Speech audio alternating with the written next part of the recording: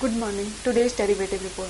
After some selling in the past few trading sessions in the stock futures, FIIs formed some long positions in the index futures and the stock futures yesterday.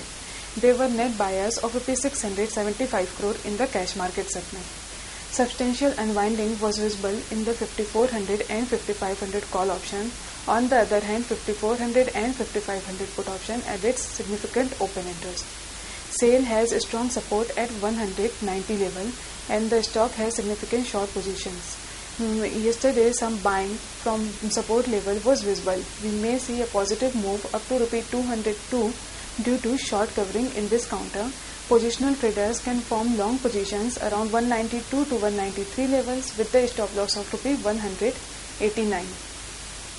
Reliance Infra has its immediate support around 1030 to 1040 levels. Cost of carry has also increased. We may see a bounce back due to short covering in the stock.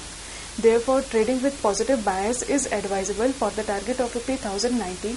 Keep a stop loss of rupee 1015. Thank you.